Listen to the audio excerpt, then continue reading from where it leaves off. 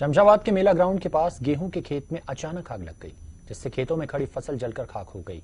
आग लगते देख लोगों ने जैसे तैसे आग पर काबू पाया, लेकिन तब तक 20 बीघा में खड़ी फ़सल जलकर खाक हो चुकी थी। हालाँकि इस दौरान फायर ब्रिगेड को भी सूचना दी गई, लेकिन फायर ब्रिगेड की गाड़ी के पहुँचने से पहले ही ग्रामीणों ने आग पर काबू पा लिया था।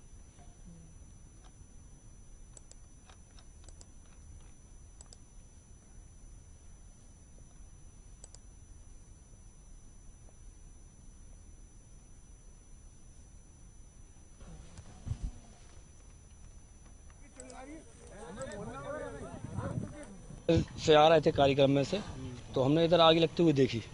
हम इधर से आए और हमने फायर ब्रिगेड को फ़ोन लगाया। फायर ब्रिगेड का फ़ोन लगा नहीं थाने में फ़ोन लगाया थाने में किसी ने फ़ोन नहीं उठाया। तो हमने पार्षद को फ़ोन लगाया।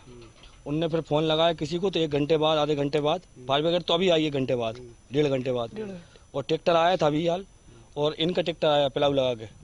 जौन बटियादार हैं इनका आया खेत इनने बजाई। बुझाई कितनी लग गई कितना नुकसान जे पूरा खेत जला हमारा जी दस बीघा का और दो बीघा जे जली है।